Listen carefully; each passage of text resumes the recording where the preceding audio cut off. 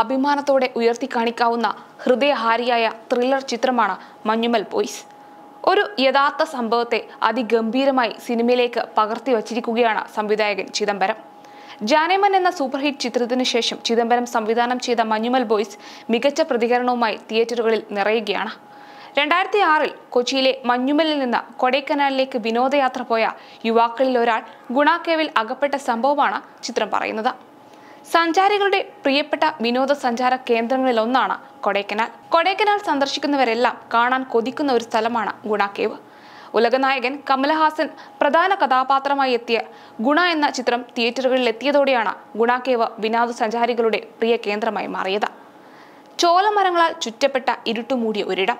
സമുദ്രനിരപ്പിൽ നിന്നും രണ്ടായിരത്തി ഇരുന്നൂറ്റി മുപ്പത് അടി ഉയരത്തിൽ മൂന്ന് കൽത്തൂണുകൾക്കുള്ളിൽ കാത്തിരിക്കുന്നത് പ്രകൃതിയുടെ വന്യനിഗൂഢ സൗന്ദര്യം മാത്രമല്ല. മരണത്തിന്റെ മാറ്റൊലി കൂടിയാണ്. ഈ സിനിമയിലെ കൺമണി അൻപോട് കാതൽ എന്ന ഗാനം പ്രേക്ഷകർ ഏറ്റെടുത്തു. പ്രണയിക്കുന്നവരെല്ലാം കാലഭേദമന്യേ പാടുന്ന ഒരു ഗാനത്തോടൊപ്പം പിറന്നത് കാലങ്ങൾക്കപ്പുറം നീളുന്ന ചില ഇരുട്ടുകൾ കൂടിയാണ്. ഈ ഗാനം ഹിറ്റായതോടെ അത് ഷൂട്ട് ചെയ്ത ആ ചെകുത്താന്റെ അടുക്കള പിന്നീട് ഗുണ കേവ്സ് എന്ന് അറിയപ്പെടാൻ തുടങ്ങി. ദൂരങ്ങളിൽ നിന്നുപോലും സഞ്ചാരികൾ ഗുണ കേവ്സ് തേടി വന്നു തുടങ്ങി. എന്നാൽ ഗുണ കേവ്സ് തേടിപ്പോയവരാരും തിരികെ വന്നിട്ടില്ല.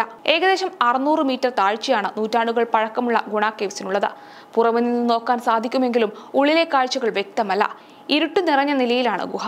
എന്നാൽ ഗുണ കേസിൽ അകപ്പെട്ടവരിൽ ഒരാൾ മാത്രമാണ് ജീവനോടെ പുറത്തു വന്നത്. രണ്ടായിരത്തി ആറിൽ എറണാകുളത്ത് നിന്ന് ഇവിടെ എത്തിയ വിനോദയാത്രാ സംഘത്തിലെ ഒരാളാണ് ജീവനോടെ രക്ഷപ്പെട്ട ഏക ഭാഗ്യവാൻ. പാറക്കുഴിക്കുള്ളിലേക്ക് സുഭാഷ് വീണപ്പോൾ അയാൾ ജീവനോടെ തിരിച്ചു വരുമെന്ന് ഒരാൾ പോലും വിശ്വസിച്ചിരുന്നില്ല. അയാളുടെ കൂട്ടുകാരൊഴികെ മുൻപ് മരിച്ചവരുടെ എല്ലാം പേടിപ്പിക്കുന്ന കഥകൾക്കപ്പുറത്ത് തന്റെ കൂട്ടുകാരൻ മരിക്കില്ല എന്നവർ ഉറച്ചു വിശ്വസിച്ചു. കണ്ടവരും കേട്ടവരുമെല്ലാം അവരെ കൈവിട്ടു. ഫയർഫോഴ്സ് ഒരു ശ്രമത്തിനപ്പുറം പകച്ചു നിന്നു.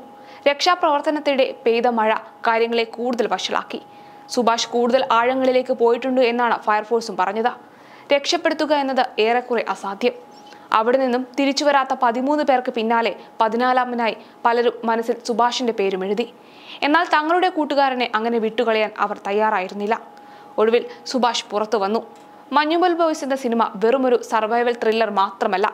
സ്നേഹം അങ്ങനെ വിട്ടുകളയാനുള്ളതല്ല എന്ന ഉറപ്പിന്റെ കൂടി കഥയാണ്.